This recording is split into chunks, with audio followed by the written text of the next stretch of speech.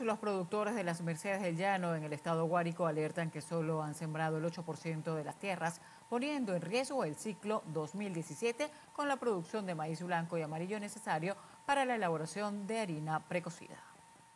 Trabajadores del campo en las Mercedes del Llano aseguran que las fallas en la distribución de agroinsumos a pocos días de cerrar el tiempo de siembra 2017 ponen en riesgo unas 40.000 hectáreas, dedicadas principalmente a maíz blanco y amarillo, necesario para la arepa del venezolano.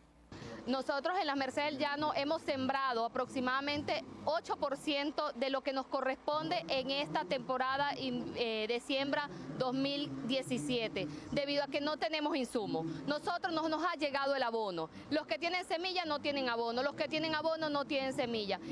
En Guárico, no quiero imaginar lo que nos viene el año que viene por la falta de producción, no hay insumos, no hay repuestos, no hay caucho, no hay lubricante, no hay gasoil para la maquinaria.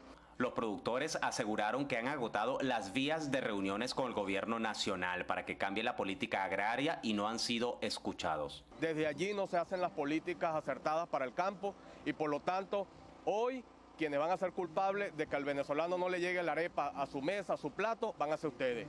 La siembra para este año de maíz blanco y de maíz amarillo está en saldo rojo, señores. Finalmente, los productores agrícolas y pecuarios de las Mercedes del Llano alertaron que se encuentran en contra del reloj, pues solo tienen 15 días para iniciar el ciclo de siembra 2017. Desde el estado Guárico, José David Rondón, Televen. De varias puñaladas.